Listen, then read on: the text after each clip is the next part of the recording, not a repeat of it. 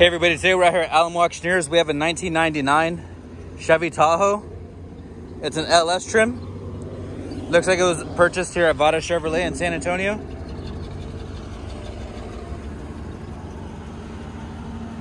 Has a V8 in it, automatic.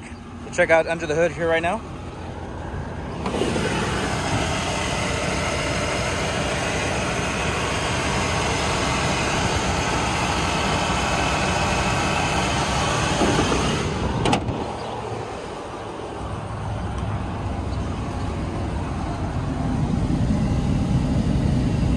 Pretty clean dash.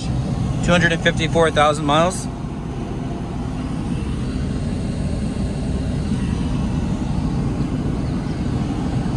Available for auction at alamoauctioneers.com.